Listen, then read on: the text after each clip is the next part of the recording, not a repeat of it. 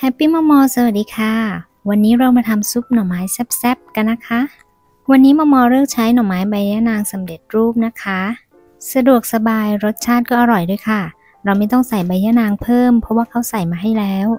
เดี๋ยวเราไปทำอาหารเพลินๆด้วยกันเลยนะคะ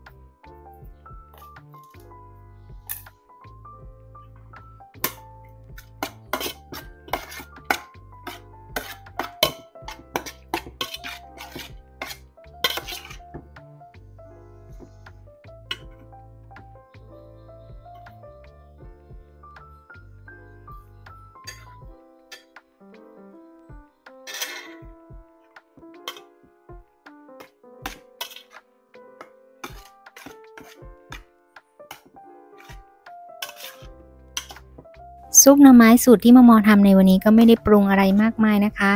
ใส่แค่น้ำปลาข้าวคั่วพริกป่น แล้วก็แค่นี้จบเลยค่ะ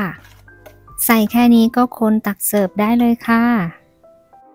เสร็จเรียบร้อยแล้วมาทานข้าวเย็นด้วยกันค่ะ ฝากกดไลค์กดแชร์ กดติดตามช่อง Happy มอมอด้วยนะคะ